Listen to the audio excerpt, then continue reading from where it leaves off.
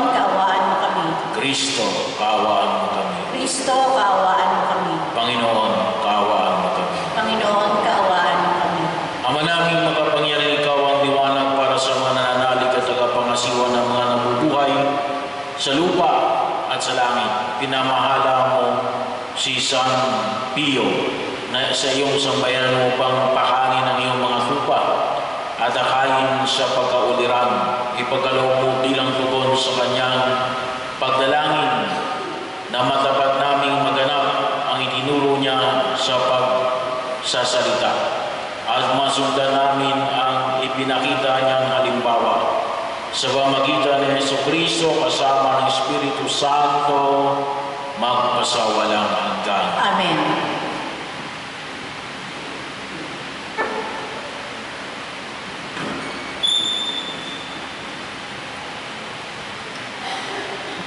Pagbasa mula sa aklat ng mga ngaral.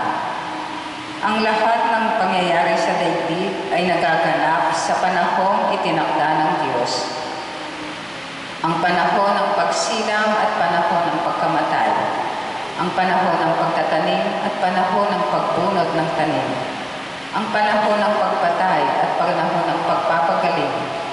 Ang panahon ng paggi- paggiba at panahon ng pagtatayo ang panahon ng pagluha at panahon ng pagtawa, ang panahon ng pagluluksa at panahon ng pagdiriwang, ang panahon ng pagkakalat ng mga bato at panahon ng pagtitipon sa mga ito, ang panahon ng pagyayakap at panahon ng paglalayo, ang panahon ng paghahanap at panahon ng pagkawala ang panahon ng pag-iingat sa isang bagay at panahon ng pagtatapon. Ang panahon ng pagpunit at panahon ng pagta- pagtahi. Ang panahon ng pagtahimik at panahon ng pagsasalita. Ang panahon ng pagmamahal at panahon ng pagkapuo. Ang panahon, panahon ng digmaan at panahon ng kapayapaan. Ano ang mapapala sa kanyang ginagawa? Alam ko na ang itinakda ng Diyos sa tao. Iniangkop niya ang lahat ng bagay sa kapanahunan. Ang tao'y binigyan ng pagnanasang alamin ang bukas, ngunit hindi binigyan ng pagkaunawa sa ginawa ng Diyos mula sa pasimula hanggang sa wakas. Ang salita ng Diyos. Salamat sa Diyos.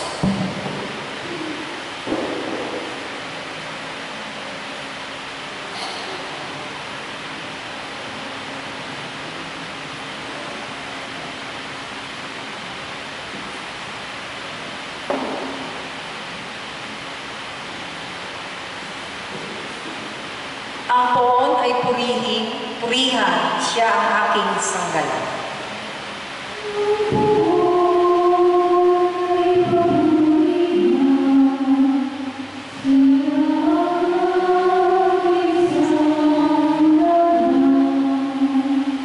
Purihin ang poon na aking sanggalan, matibay kong moob at tagapagligtas. Ang aking tahanan hindi matitinag, tagapagligtas ko pinagtitiwalaan.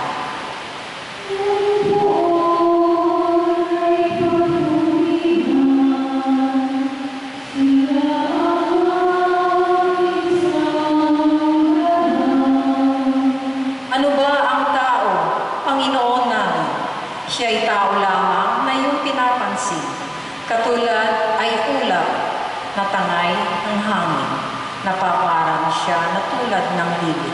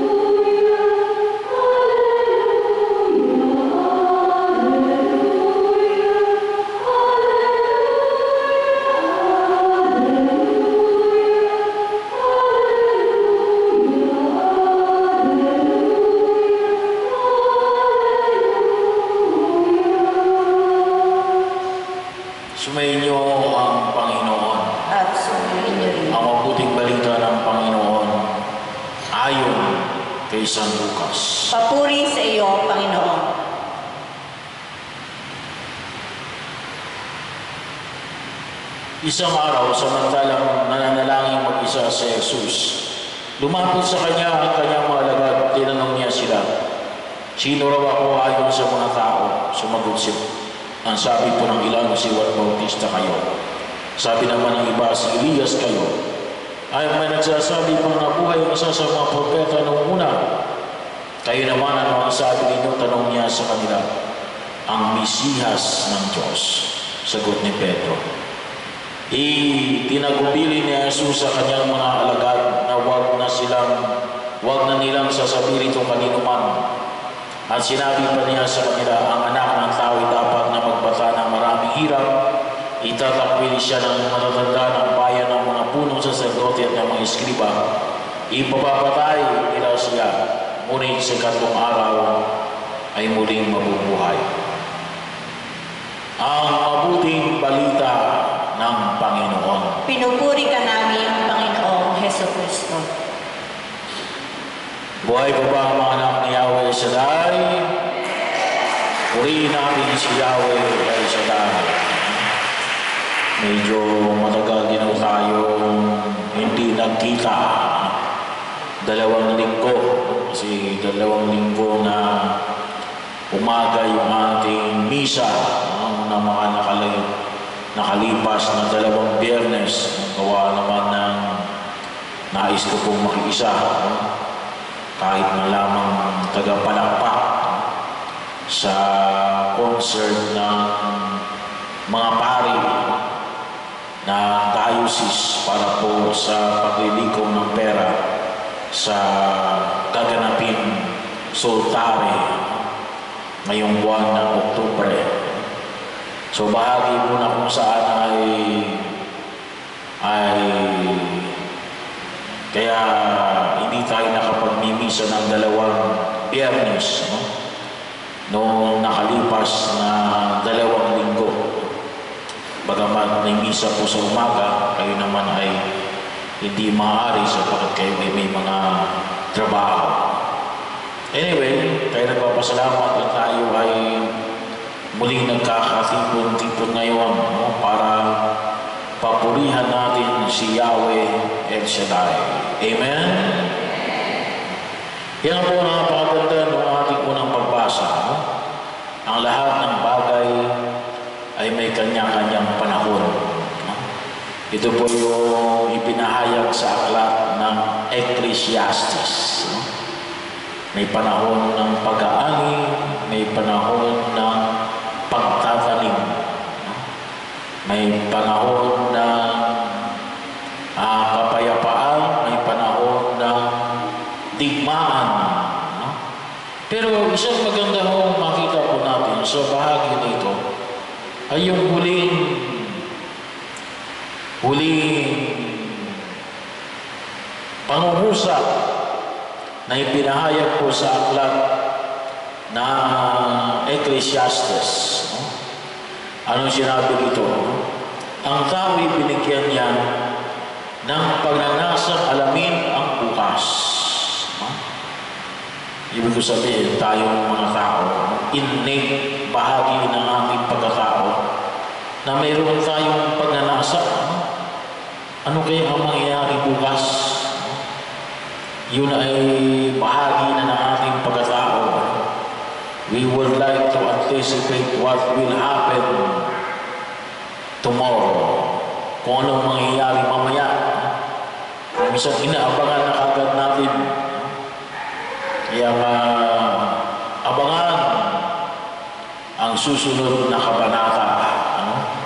Yun yung palaging binibigay. Abangan ang bukas. Sabi nga kahit hindi mo na ilagay bahagi na ng pagkatao natin na we anticipate for what will happen. Excited tayo sa kung ano mangyayari sa araw ng bukas. Bahagi ng pagkatao natin. Pero ano yung hamon na ibinabahagi po sa aklat ng Ecclesiastes? Yung pangalawang bahagi ng pangungusap na ito. No? Ano sa Ngunit hindi binigyan ng pagkaunawa sa ginawa ng Diyos mula sa pasimula hanggang sa wakas. Ngunit hindi binigyan ng pagkaunawa sa ginawa ng Diyos mula sa pasimula hanggang sa wakas. It is not given. Hindi katulad ng pagnanais natin of what will happen tomorrow. Nandun na yung pagnanasa. Bakit? It should be chosen. Kinakailangan piliin ng tao. Kinakailangan piliin ng tao. Kinakailangan piliin ng tao ang alin na mabigyan ng pagkaunawa ang kahulugan ng ginagawa ng Diyos mula sa pasimula hanggang sa wakas. Hindi lamang yung bukas. Ano yung kahalagahan? Ano yung pagkaunawa ng Diyos? Ano yung meaning ng buhay ng tao? Ano yung kahalagahan para sa Diyos ng mga pangyayari ito? Yun yung nais na ipahayag ko sa atin sa aklat ng Ecclesiastes o sa aklat ng mga ngaral. Nanawa, tayo ay maging bahagi na maging choice natin no? sa sa paanyaya na ibinibigay sa atin ng banal na kasulatan. Sana yung pagnanais natin si comes naturally kung tuusin na we would like to anticipate of what will happen tomorrow. Sana, ang sinasabi dito ay we should also give the same intensity. Na makita natin, ah, ano ba yung kahalagahan ng mga bagay dito? Ano ba yung mensahe ng Diyos? Ano ba yung mensahe ni Yahweh El-Shaddai para sa atin sa mga pangyayaring ito? Ano ba ang nais na sabihin ni Yahweh sa mga pangyayaring ito? Sa mga nangyari kahapon, sa mga nangyayari ngayon, at sa maaaring mangyayari bukas. Yun yung paanyaya ng aklat ng mga ngaral. At tama-tama rin no? sa ipinahayag ko natin ngayon sa Ebanghelyo, ang lahat ng yan ay magkakahulugan sa ngalan ni Jesus. Sa pagkilos ng Diyos. Sa pamagitan ng ating Panginoong Yeso Kristo. Bagamat ipinamamanig ng Diyos yung kanyang panyaya, ay nawa makita natin ito higit sa lahat. Sa ngayon sa mukha na ipinamamanhig ni Jesus. Kaya nga sabi nga natin ngayon ay katulad nga po ng, ng pagdiriwang natin ngayon ng extraordinary Jubilee Year of Mercy. Si Jesus ang hawa ng Ama. So we have to see yung kagustuhan ng Diyos sa mukha ni Jesus. Ano yung gusto ng Diyos sa mga pangyayaring ito ayon sa turo na Jesus? Sa Ebanghelyo, ipinamanay ko sa atin alin, ah, ito ang Kristo, ang anak ng Diyos na totoo. Kinakailangan natin ay isang pagtingin na makita natin sa pamamagitan ni Jesus. Sa pamamagitan, makita natin ang kahulugan sa pamamagitan ng mata ni Jesus. Yun nawa yung maging pamantayan natin ng pagkilos.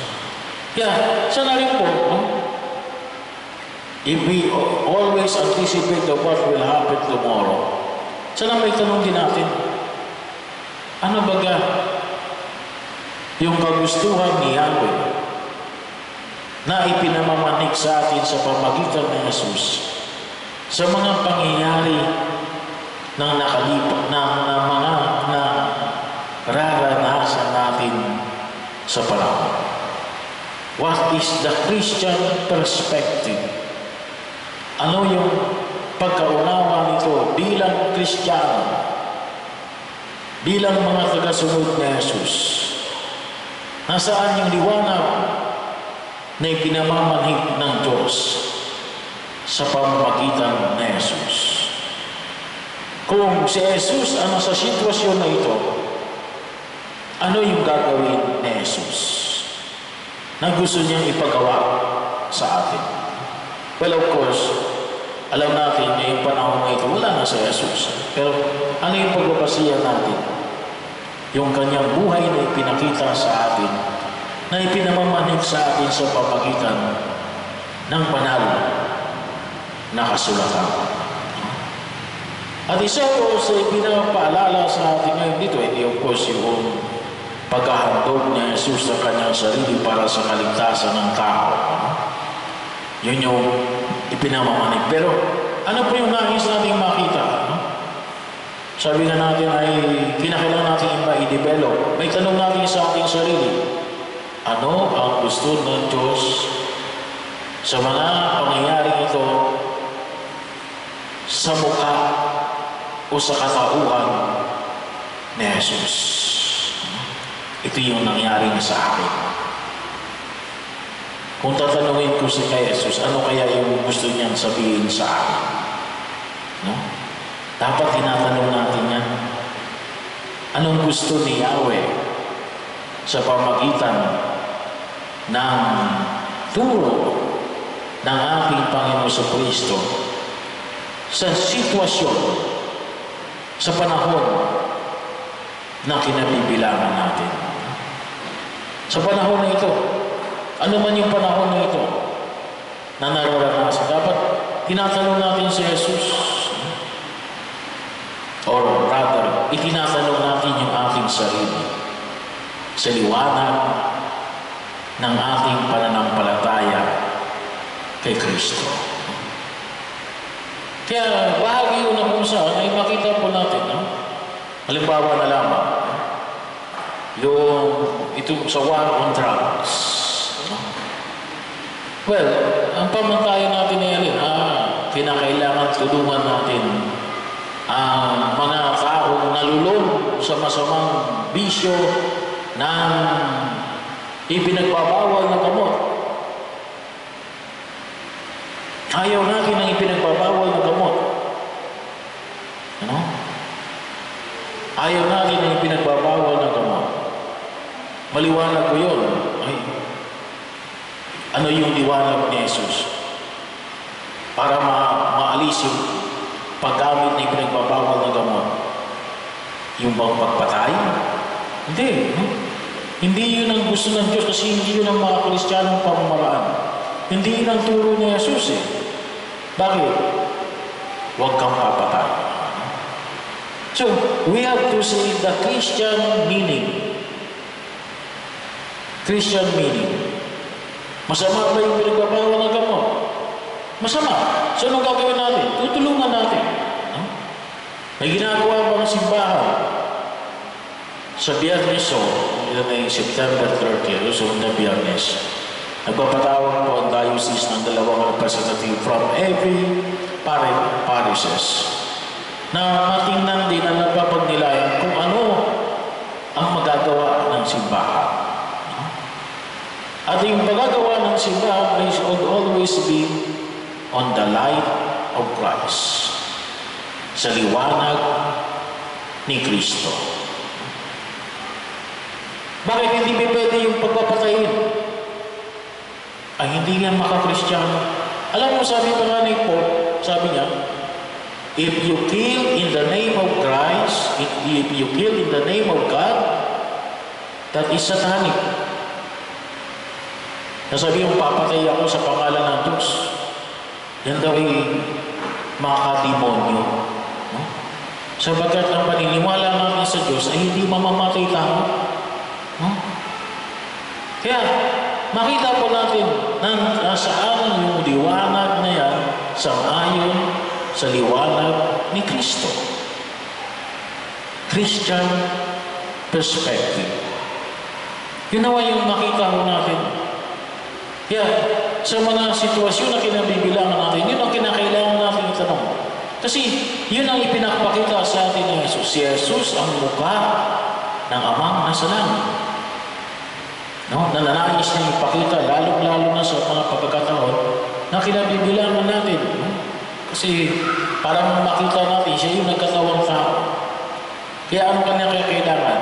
Always in the light of Christ. Kinakailangan na makita natin ang isang bagay sa liwanag ni Kristo. Hindi pwedeng wala si Kristo sa solusyon sa mga problema na hinaharap natin. Or else, it is still a solution, but it is not a Christian solution. Hindi yan solusyon ng isang naniniwala sa Diyos. Kaya yun ang kahulugan ng ipinahayag ko. No? Pinakailangan na rin binigyan ng pagkaunawa na ginawa ng Diyos mula sa pasimula hanggang sa wakas.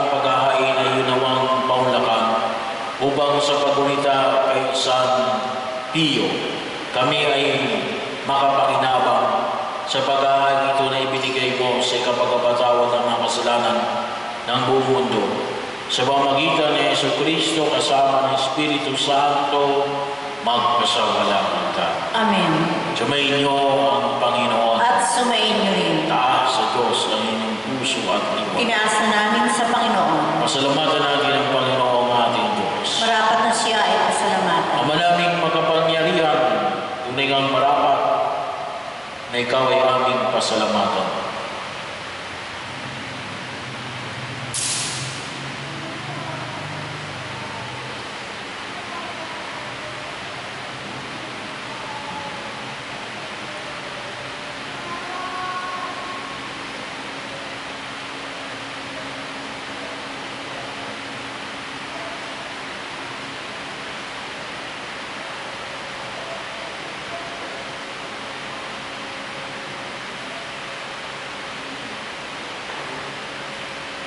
Ikaw ay nanginginig sa piling ng mga banal na ikinarangal mo sa kanilang kabutihan. Ibinigay mo sila mawala namin araw-araw at katuwag sa pagsamba sa iyong kamahalan. Sa pag sa pamagitan ng anak mo sa Yeso Kristo kami naliligid ng mga pananatao. Sila yung mga saksi ng pananalig sa iyong magaganap namin sa kararangal mo. Kaya kaisa ng mga anghel na nagsisiyawin ng papuri sa iyo ng walang humpay sa kalangitan, kami nagbubunyi sa iyong kadakilaan. Sana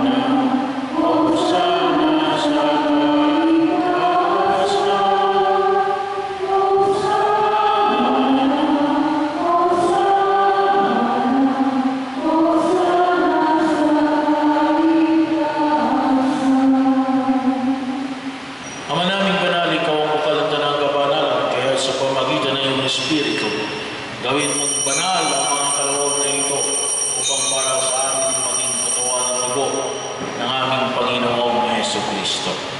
Bago niya pinagtisa ang kusang loob na maging handog, hinawakan niya ang tinapay, pinasalamatan kanya, pinaghati-hati niya yon, iniabot sa kanyang mga alagad at sinabi, Tanggapin ninyong lahat ito at kanin. Ito ang aking katawan na inihahandog para sa inyo.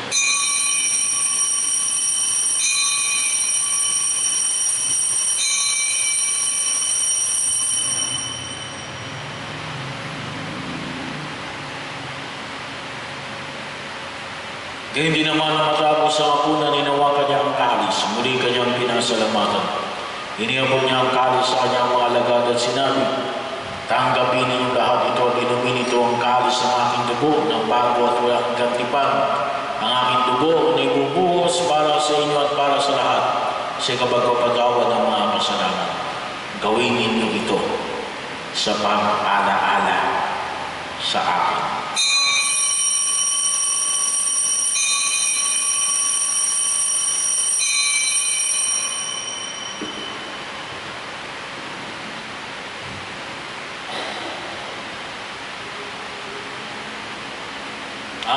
Ang misteryo ng pananampalataya.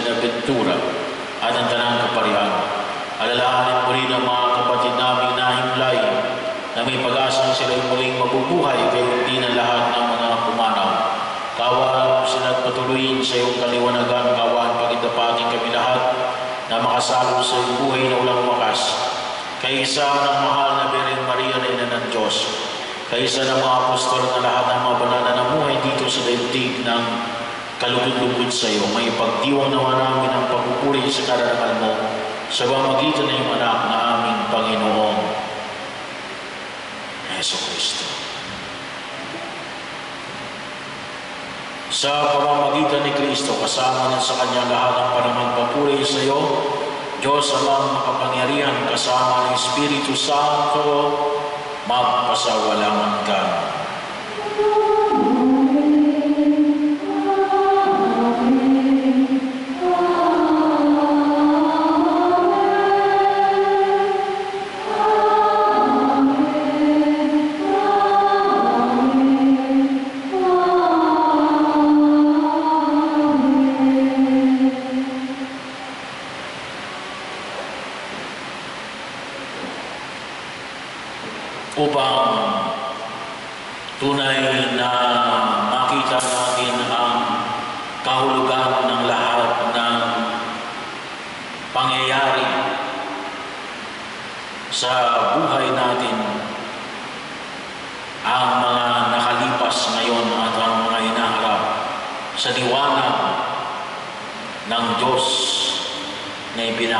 sa akin sa pamagitan ni Yesu Kristo.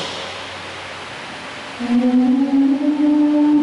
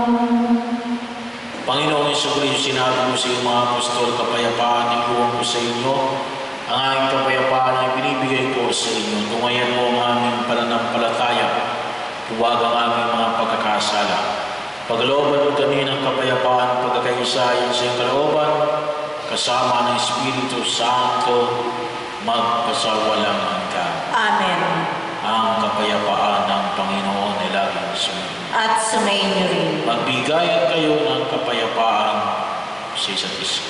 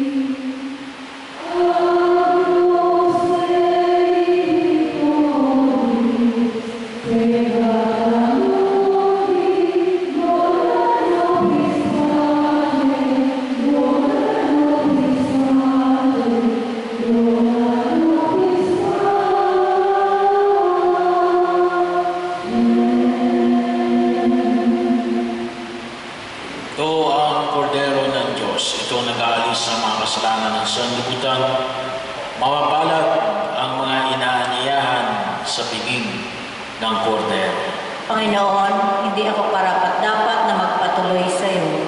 Ngunit sa isang salita mo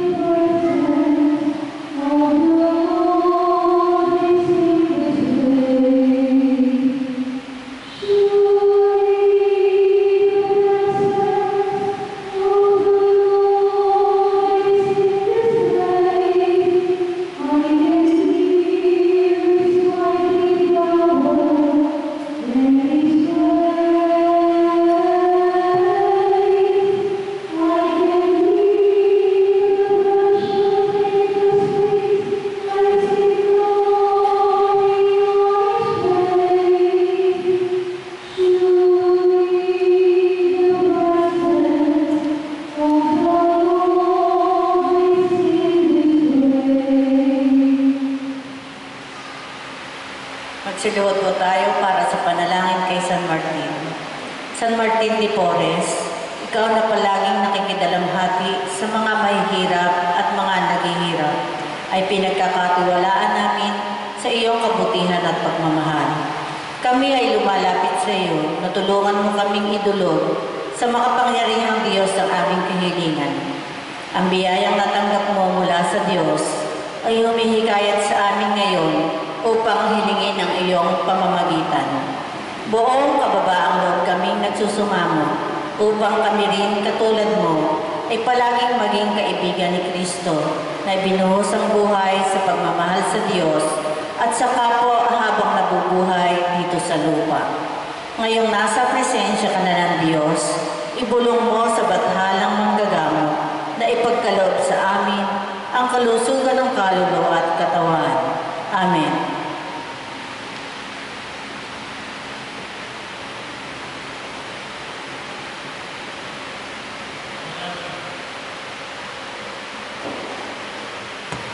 Ama namin ang pagmahal, ang tinanggap naming banal na paiginabang ay maganda naman para sa aming pagkakamit ng kaligayahan na ininulot kay San Pio na iyong paglingap na maasahan sa pamagitan ng Yeso Kristo kasama ng Espiritu Santo magpasawalang hanggan. Amen.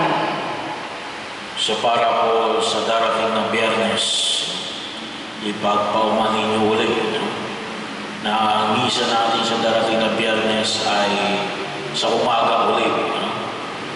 Kasi ito ay in-schedule po ng yung pong mga nai-announce ko nung nakaraang linggo na yung mga a-attend, yung mga nagnanais na sumama sa Holy Land ay pinapatawag po ano, ng agency.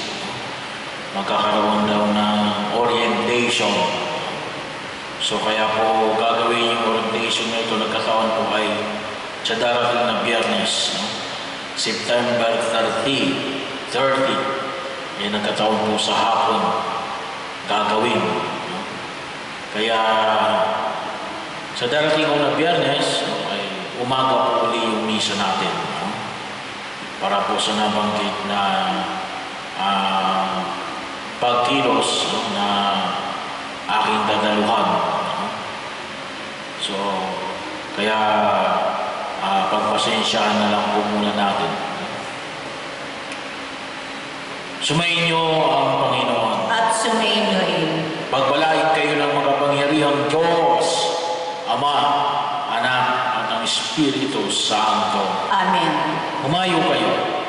Taglay ang awa at pag-ibig ng cancelada.